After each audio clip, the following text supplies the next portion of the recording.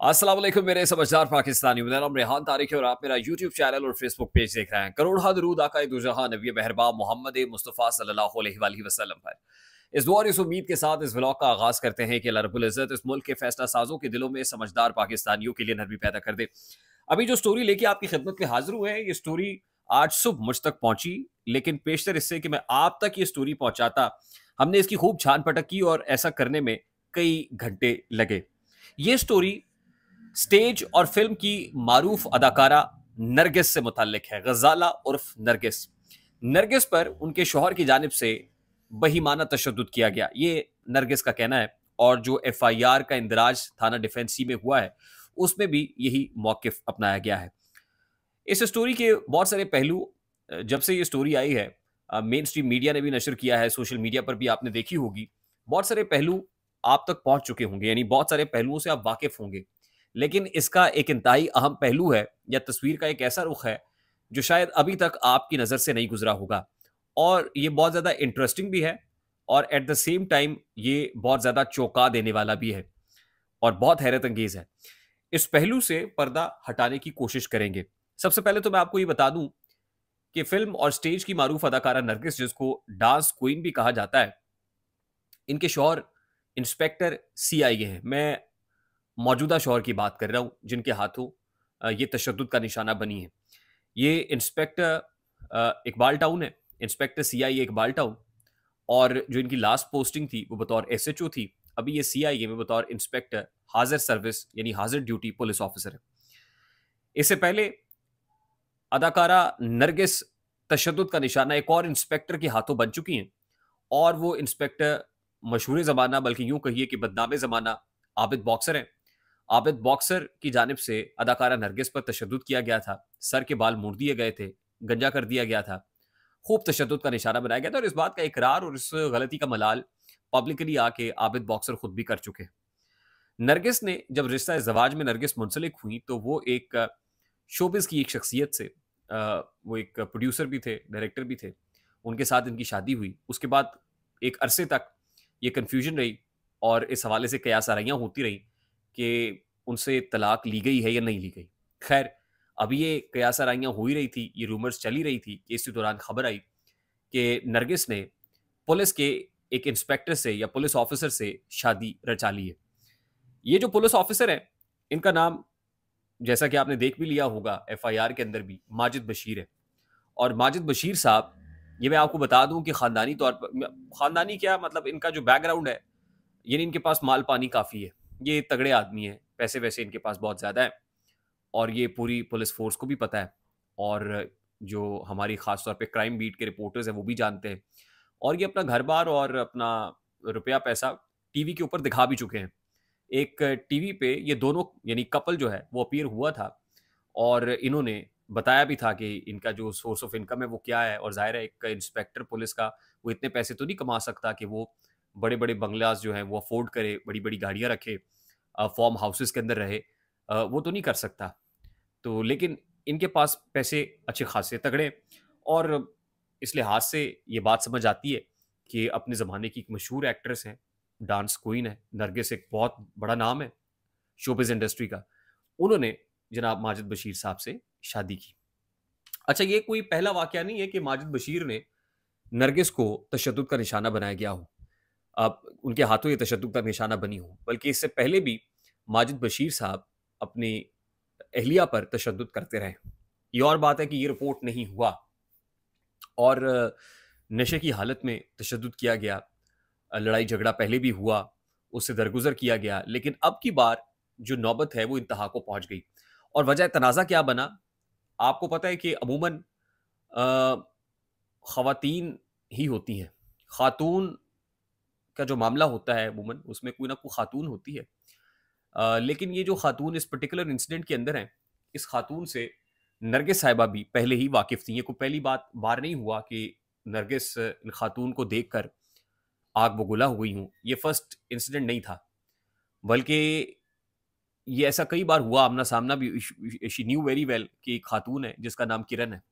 और वो माजिद बशीर साहब के साथ उनका कोई जिसको कहते हैं ना कि कोई अफेयर चल रहा है कोई मामला चल रहा है अच्छा, मैं आपको ये बता दूँ कि आज जिस वक़्त जो हमारे सोर्सेज़ हैं, वो उस घर पे पहुँचे जहाँ पर नरगिस रिहाइश पज़ीर हैं। वो डिफेंस फ़ेज़ एट में वाक़ है।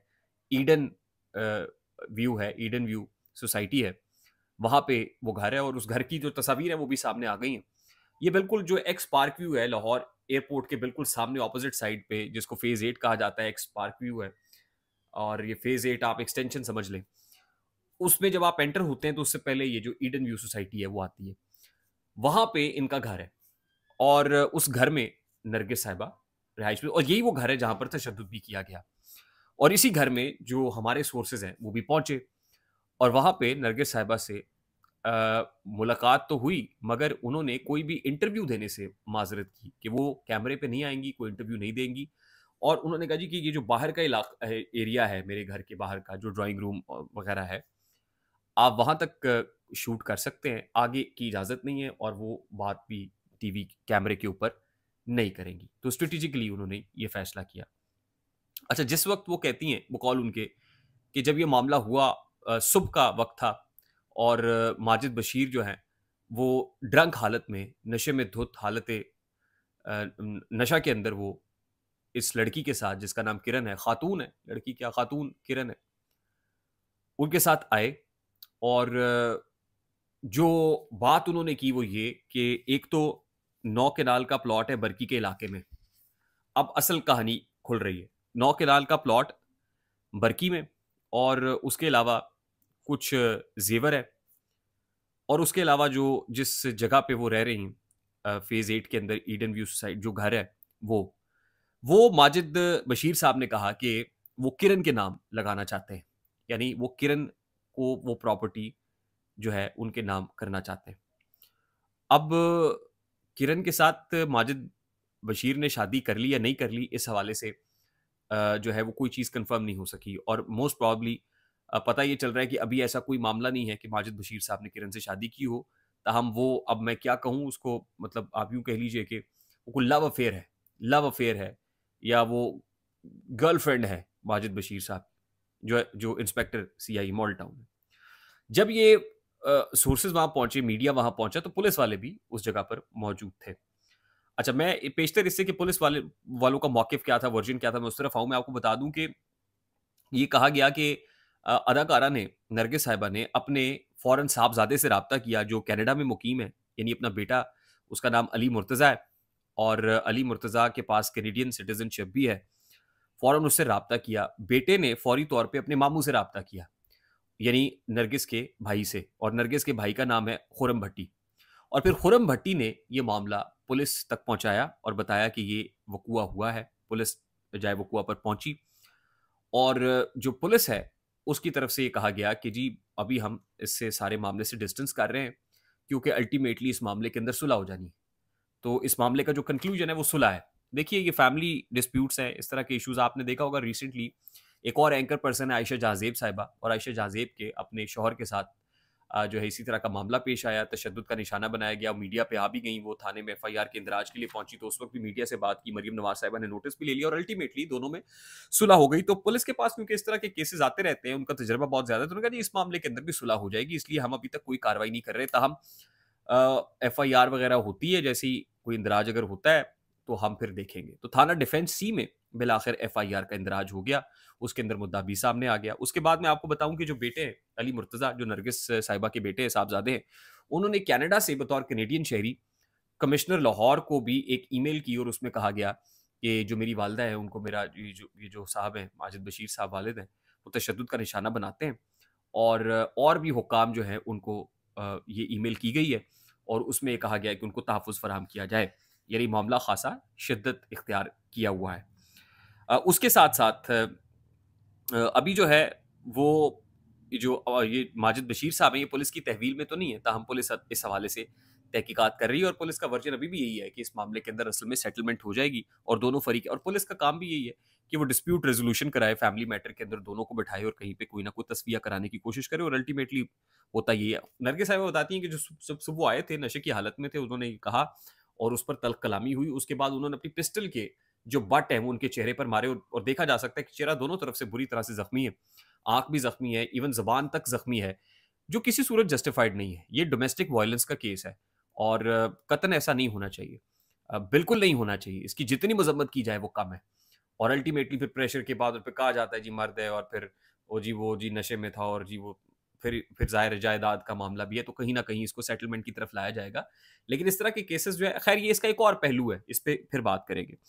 अच्छा मेरी जो एक लाहौर के एक क्राइम रिपोर्टर हैं, बड़े मशहूर और बड़े सीनियर क्राइम रिपोर्टर हैं, उनके साथ बात हुई तो जब मैंने इस वाक्य को अंडरस्टैंड करने की कोशिश की, समझा तो मैंने कहा, यार, ये सारा इंसिडेंट तो चलिए समझ आ गया कि ये कुछ जायदाद का मामला है, पैसों का मामला है लेन देन और सारा कुछ नरगिस साहिबा सात साल से सलोन भी चला रही हैं। और जो है वो कई सालों से वो स्टेज को भी खैर बात कह चुकी हैं, मीडिया को भी खैर बात कह चुकी है। हमने बहुत बार उनसे रबता भी किया, लेकिन वो ना कोई इंटरव्यू देना चाहती, ना मीडिया पे आना चाहती। तो हमने कहा जी, ये ये जो खातून है, किरण, ये कौन है? तो उन्होंने बड़ा हैरान कन इंकशाफ किया और उन्होंने कहा कि ये जो मोहतरमा है, किरण ये एक बड़े ही नामी, मैं अब वो उन साहब का नाम नहीं ले रहा, लेकिन उन्होंने जो नाम लिया, वो कहते एक बड़े ही नामी ग्रामी एंकर है, मारूफ एंकर है।